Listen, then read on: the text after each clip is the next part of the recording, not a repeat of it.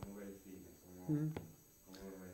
Bueno, a ver, Nicolas Cage, el tío es muy profesional. Primero, no está loco. O sea, yo, la- mi miedo era encontrar alguna persona desequilibrada. O sea, encontrar alguna persona que. No, de verdad, no, en serio.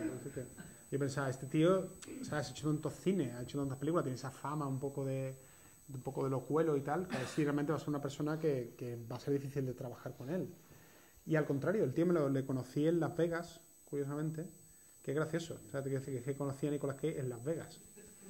Es como. Y, y quedamos en Red Rock en un, en uno, en un restaurante, eh, que es una zona de Las Vegas, Red Rock. De hecho, él hizo una película que se llama Red Rock. Y claro, yo iba con mis historias en la cabeza y decir, "Che, es que ese tío se compró una casa encantada. No sé si sabéis eso. O sea, Nicolas Cage se compró dos castillos en Francia y se arruinó, lógicamente, porque ¿quién se compra dos castillos en Francia? Eh, y luego su contable le dijo que se había vuelto loco, que estaba haciendo dos castillos en Francia, no sé no sé cuántos. Y lo siguiente que hizo el tío fue, eh, se fue a Nueva Orleans y estuvo viviendo varios años en Nueva Orleans y Nueva Orleans se compró una casa encantada, la casa encantada más famosa de toda Nueva Orleans. Entonces se compró la casa, pero no para vivir en ella, para vivir enfrente de ella. Él vivía enfrente de otra casa y la casa lo utilizaba para pasar el rato. Tenía gente y amigos que decían, vamos a la casa encantada de enfrente, ¿verdad? que nos va a pasar de puta madre. Imaginaros qué, delirio. Entonces, creo que me contó que le detuvieron en Nueva Orleans por meterse una pelea en un bar y, yo cuando ya cuando lo encontré le vi como muchísimo más calmado. Él ahora está casado con una chica coreana y tiene un, un niño. Y entonces cuando estuvimos hablando me dijo, mira, yo, Paco, estoy, me ha encantado Carne de Neón, me parece una película de puta madre, estoy ya cansado de hacer cine alimenticio, que realmente me metí en líos con Hacienda y estuve haciendo, las últimas películas que he hecho han sido para poder pagar Hacienda, realmente no estaba muy orgulloso de esas películas que estaba haciendo. Entonces yo quiero hacer Drive, yo quiero hacer una buena película y quiero hacer una película de acción, pero que sea una buena película. Y yo le dije, ah, pues mira, yo también quiero hacer Drive, mola. más o menos un tipo de cine que quiero hacer, con lo cual vamos los dos en el mismo camino. Entonces luego el tío la verdad es que es, es em, aparte de encantador, es muy trabajador y la diferencia que él tiene con un, a lo mejor con un actor que esté comenzando es que te da lo que necesitas. Sea, yo me acuerdo el primer día que rodamos, eh, estábamos en un edificio que había llovido durante toda la... Alabama tiene un tema. Estuvimos rodando la película en Alabama. En Alabama en verano hace 50 grados a la sombra y llueve una hora al día de media. O sea, es el infierno, básicamente. Es como, ¿por qué alguien se iría a rodar una película a Alabama? Básicamente porque tienen un tax rebate del 40%. Ya os lo vuelvo a repetir por el incentivo fiscal. Pero después para rodar es un puto infierno. Sea, nadie se lo plantea cuando dices, "Hostia, es que te vienes a rodar a España y tienes unas condiciones meteorológicas de puta madre. Pero es que te lleva una hora al día, es una putada muy gorda cuando estás rodando una película. Pero bueno, en cualquier caso, estuvo rodando todo, estuvo lloviendo toda la noche, íbamos a rodar en un edificio que íbamos, hacíamos una persecución de Nicolás que iba persiguiendo a un tipo, un ruso, iba corriendo por todas las escaleritas hasta que llegaba a la azotea y ahí rodamos una escena. Entonces, vamos allí a rodar por la mañana y empezamos a hacer la persecución, corriendo, tal, y en un momento determinado viene el ayudante de dirección y me dice, oye Paco, que hay un pequeño problema en la azotea. ¿Te importaría subirte ahora conmigo un momento? Y yo, claro, claro, no pasa nada. Hasta que subo para arriba y de repente toda la azotea estaba inundada. ¿Vale? Pero inundada de, de llegarte el agua a la rodilla, ¿vale? Y digo, hostia, ¿sí ahora qué hacemos? Si tenemos aquí el final, llegan los tipos, llega el ruso y, le- y se lo carga aquí al ruso y tal, y ahora que... Y le digo a mi ayudante de dirección, pero ¿sabes qué, tío? Es que quedaría de puta madre rodarlo aquí. Digo, o sea, nos podemos matar. Y, o sea, es como que se nos electrocuta Nicolas Cage en el primer día de rodaje. Esto puede ser la hostia, pero ¿y si lo rodamos? Entonces dije, espérate, voy a hablarlo con Nick. Me fui y dije que yo, Nick, que es que se nos ha inundado la puñetera azotea, pero ¿sabes lo guay que va a quedar cuando tú salgas por esa puerta y el, agua corriendo y coger tío y le estampa contra el suelo y el agua y fras, fras? Dice Nick, de puta madre, ¿no? Y yo, sí, sí, sí. Entonces fue un poco como. Ahí fue cuando un poco él me dio la prueba y de repente estaba dispuesto a hacer lo que fuera. O sea, nos pusimos pingueando. Yo en mi casa, con un ref- el hotel con un resfriado, hecho una mierda, con la voz perdida. Pero dije, oye, este día ha quedado de puta madre. Entonces, cuando ves que un tío se, se lo da todo desde el primer día, ya te das cuenta de que, de que está entregado. Y luego, como te digo, realmente en las. Yo me acuerdo que, lo- que las dos primeras tomas siempre eran buenas. La primera semana nos estamos cogiendo un tranquillo el uno al otro, ¿no?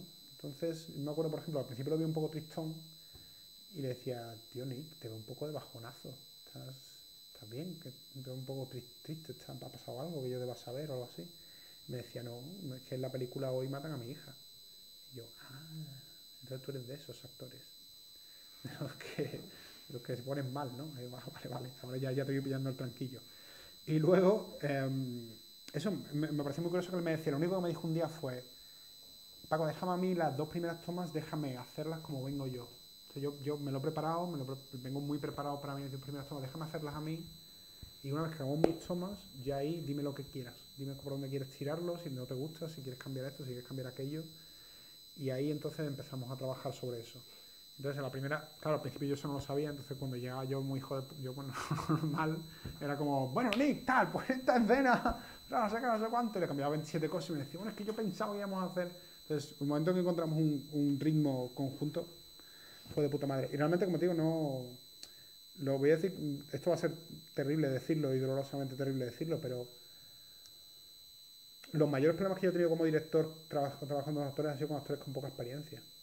O sea, es cuando un actor mm, no, tiene el entrenamiento y no está preparado para, para interpretar como actor, es cuando realmente surgen los problemas.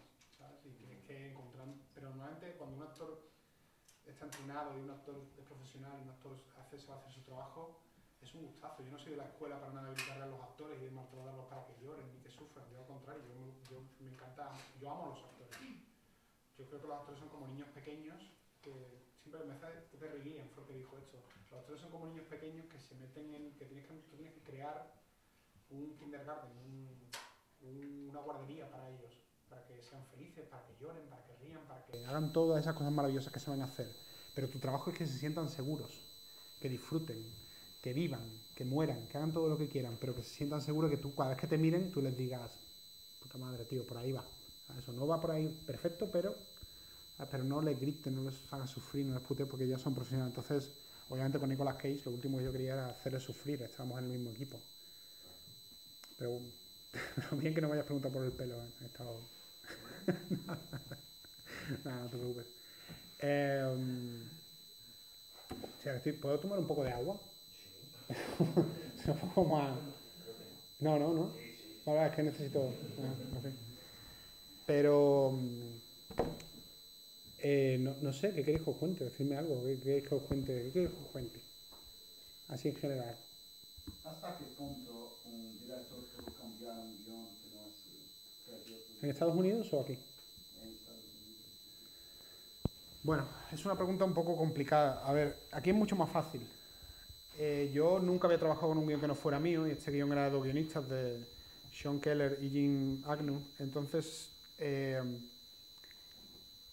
hay una cosa que se llama el bond. No sé si sabéis lo que es eso.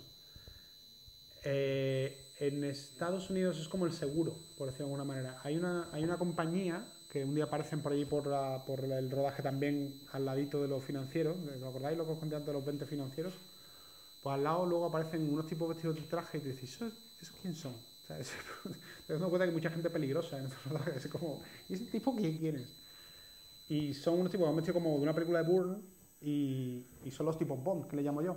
Pero porque son, son los del Completion Bond. Completion Bond significa son la gente, son los del seguro con los que tú firmas un contrato al principio del rodaje en el que dice que tú vas a rodar la película en 35 días, en 40 días, los días que vayas a rodar la película tienes que firmar un contrato con ellos, ¿vale? Y si tú incumples ese contrato y vas mal, tienen el poder de echarte, digamos, también. Aquí todo el mundo puede echarte, como vosotros nadie me hecho. Entonces, el tema es que tú has firmado un contrato basado en un guion. Claro, entonces, es cierto que puedes cambiar cositas. Puedes cambiar. Yo reescribí diálogos, reescribí chistes, reescribí un montón de cosas que intenté darle como. Gracias. Que intenté darle mucho más vida al guion de la que tenía ya. Gracias. Eh, pero es cierto que, que a veces es limitado el poder que tienes.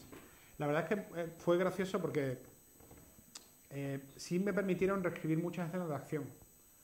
¿Sabes? Eh, trabajé con Johnny Martin, que es el, coordinador de acción de Seven y de Transformers y de un montón de películas. Eh, y me acuerdo que leyendo el guion, bueno, el guion de la película de lo que va a tocar tocaré muy rápidamente, va sobre Nicolas Cage interpreta a un ex delincuente, que es como algo muy mío, un tema muy mío, eh, que ya vive con un hombre deformado y un día de repente su hija desaparece. Descubre que la han asesinado entonces él empieza un poco a intentar indagar un poco en su pasado, que tiene que ver un poco en parte con la mafia rusa, para saber quién la ha asesinado, ¿no? Entonces yo me acuerdo que había muchas escenas en el guion originalmente que decían, van los personajes, él y sus amigos, sus colegas un poco del, del barrio, van a sitios a intentar indagar por, qué, por lo que pasó, ¿no? Um, yo recuerdo leyendo escenas que decían, eh, Nick, bueno, el personaje Paul, entran en, un, en una cafetería y preguntan a unos rusos que están sentados en unas mesas, no sé qué. Yo pensaba, que, que, que, que poco peligroso, que poco interesante, una cafetería. Es como que de repente no me, no me, no me pareció lo suficientemente interesante o intenso. Entonces, eh, todas esas escenas las pude reescribir para, digamos, centrarlas en lugares un poco más densos y un poco más oscuros.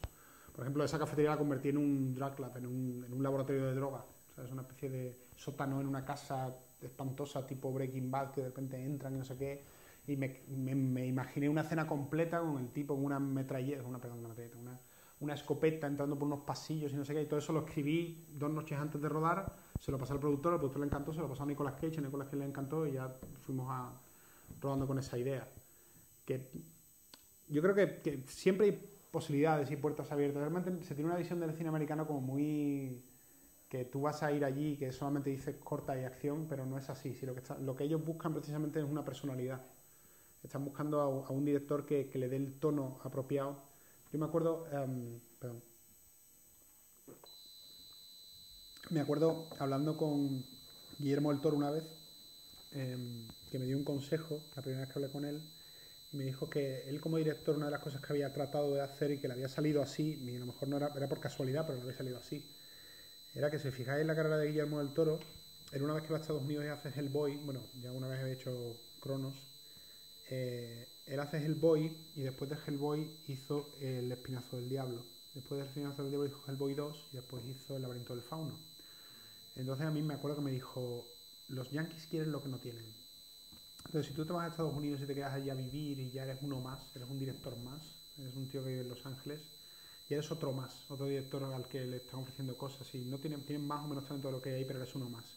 Sin embargo, si te vienes a España o a Europa o a cualquier sitio y les dejas un poco la sacada, ellos van a querer lo que no tienen. Van a llamarte porque eres el, sigue siendo el director autor, sigue siendo como haciendo el espinazo del diablo o haciendo el laberinto del fauno, sigo teniendo esa autoría que ellos quieren para darle personalidad a sus cines. Entonces nunca hay que perder un poco eso de vista. Yo creo que yo me con Serra, que al que yo, director al que admiro, si él, por ejemplo, estuviera haciendo una película de autor aquí en España a la vez, pues le daría un, ¿sabes? Le daría un feedback, una, una un algo que le, probablemente le serviría para, como un trampolín para intentar hacer películas más grandes en Estados Unidos. Pero bueno, es un, es un poco una mezcla. Yo creo que ellos, ellos siempre te buscan por algo, ¿sabes? Siempre te buscan con, para intentar... Si no, o sea, bueno, y también hay una cosa importante que es esto. Uh, hay unas cosas que se llaman en Estados Unidos DGA y WGA, no sé si lo que se sabe lo que es, los sindicatos, ¿vale? Son muy fuertes en Estados Unidos. Entonces, la WGA es la World Writers Guilds Association, la es la Directors Guilds Association. Para que vaya a partir con esto, la Writers Guilds Association, un guionista americano tiene por o sea, si pertenece a la Writers Guilds Association, por cada reescritura le, por cada reescritura le pagan.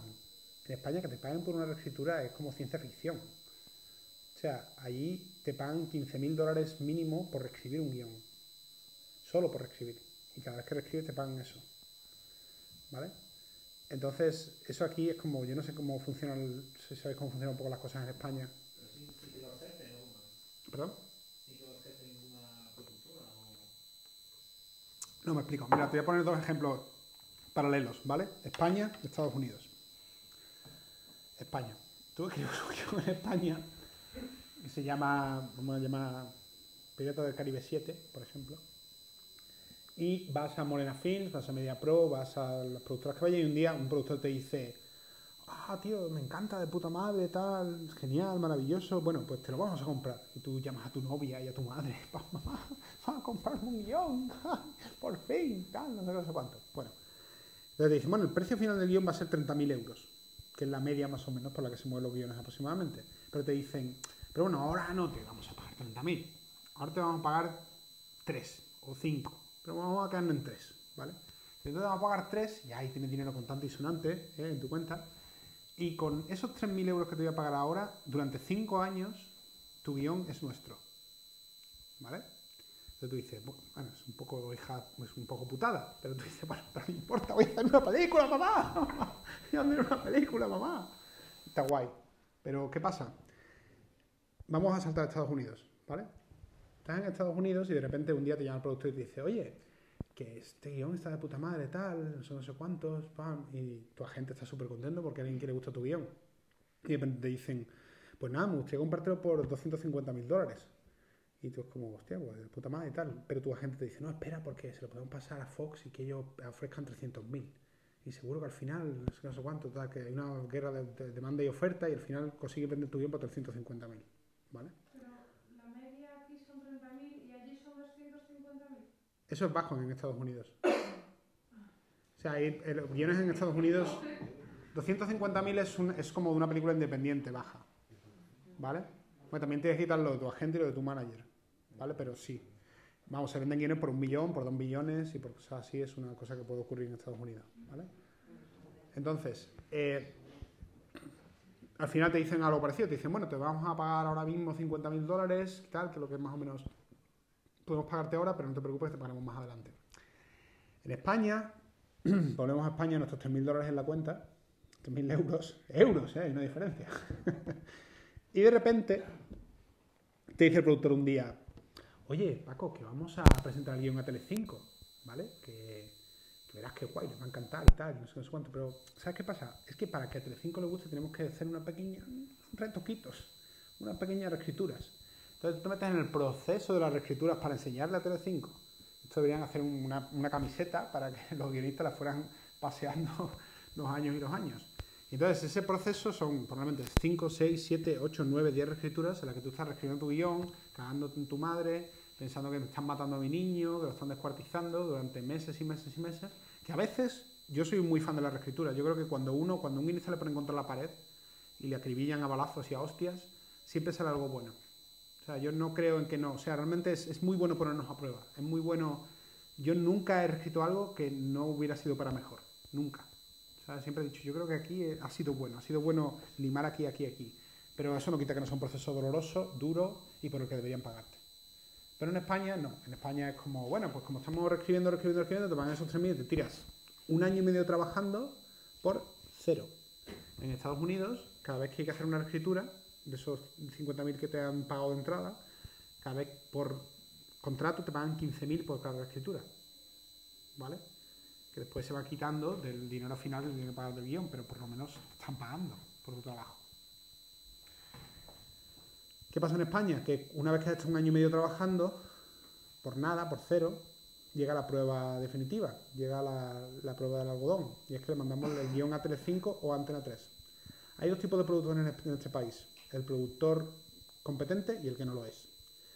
El productor que no lo es, le manda el guion a Telecinco y cuando Telecinco dice que no, dice, bueno, pues ya está, ya he terminado mi trabajo, ¿eh? venga, hasta luego. El productor competente se lo manda a Antena 3, se lo manda a TV3, se lo manda a Eurimash, se va al Festival de Berlín y hace preventas, se va a Cannes y hace preventas, se busca la vida, se busca unos productores en Escandinavia para no sé qué, no sé cuántos y para conseguir la postproducción, que son, por ejemplo, los productores que yo he trabajado. Pero sí sé de productores que es como que en el momento en que Telecinco dice que no, dice, bueno, ya para qué. Siguiente. ¿Sabes? Como ya este, este no me interesa, este no lo quieren comprar, bueno, pues comprarán este o este, me da lo mismo, si me cuesta 3.000 cada uno. Entonces ese es nuestro problema, encerrarnos por 3.000 euros de mierda, que no es que sean, obviamente 3.000 euros suenan muy bien a cualquier ahora mismo, pero 3.000 euros durante 3 años o durante 5 años no suenan tan bien. Entonces nuestro problema es eso, encerrarnos en un contrato con un proyecto que nos lo van a, a suicidar, nos van a hacer la eutanasia, más o menos. Por Dios, qué deprimente. Perdón, intento ser aleccionador, como la vida, el mundo real, el mundo ahí fuera. Entonces, hay diferencias muy brutales entre, Estados Unidos y, España. Pero eh, todo esto, ah, bueno, perdón, esto, esto iba a lo de la, lo de la, lo de si puedes escribir un guion. Entonces, también en, en esas, en esas, eh, en esas reglas un poco se protege un poco el guionista. Intenta, se intenta que tú reescribas lo más mínimo. Hay un porcentaje que puedes escribir o no puedes escribir. Yo nunca me lo he mirado realmente, pero yo siempre lo he hecho de manera amistosa. He hablado con los guionistas y he dicho, oye, tengo una idea de puta madre, vamos a intentar meterla en guion. Y ya de últimas, pues he dicho, oye, ¿te importa que te reescriba esta frase y la meto yo aquí? Aquí esto lo escribo yo, te lo paso y haces como lo que registro tú. Y a todo se llega un acuerdo. O sea, todo es, todo es hablable, realmente. Am, a todo se puede llegar. Pero, pero bueno, eh, hay una cosa también cierta, y eso no lo voy, a mentir, ¿vale? Yo no soy DGA, o sea, decir, yo no pertenezco a la, a la Director Guilds Association, eh, básicamente porque tú para pertenecer es como pertenecer a las GAE, pero más complejo, o sea, tienes que pagar año a año, eh, tienes que haber hecho películas americanas. Yo ahora podría ser de la DGA, ¿vale? Pero ¿por qué no lo soy todavía? Porque una de las razones por las que en Estados Unidos te contratan a ti o me contratan a mí es porque somos mano de obra barata. Esto no lo va a decir un director normalmente, va a decir, va a mentir, esto es muy bonito y tal. Pero es verdad, es decir, que para bien y para mal, barata entre comillas, obviamente pagan 10 veces mejor que en España, pero, pero no tenemos Final Cut. O sea, entonces el Final Cut hay que pelearlo con uñas y dientes, sabiendo que siempre, como no seas el tipo más buena gente del mundo, vas a perder la pelea, porque el productor siempre tiene en la mano el Final Cut. Cosa que también en España casi que sí, es decir, que no, hay pocas personas que tengan el Final Cut, pero hay ciertas cosas que, que uno dice, ojalá tuviera la DGA ahí detrás, ¿no? Pero sí, como defendido mis derechos, pero bueno, o sea, somos un poco, somos esa mano de obra barata que llega, y, o sea, somos, parece, es una especie de gran broma, pero es así. O sea, ahora mismo toda esta hornada de directores europeos jóvenes, vamos ahí porque nos quieren, porque tenemos talento, porque somos guay, porque no puta madre lo que quieras, pero somos baratos y nos pueden malear si... Entonces ahí está la, hora de la pelea, la pelea que ha peleado Luis Uberdejo con The New Daughter y la pelea que he peleado yo ahora con la de Nicolas Cage la pelea que ha peleado todos los directores jóvenes, Miguel Ángel Viva lo va a pelear ahora, que está rodando Harmony. Pero bueno, es, es, es ser director, es, es hacer cine, es la pelea que tenemos que pelear todos.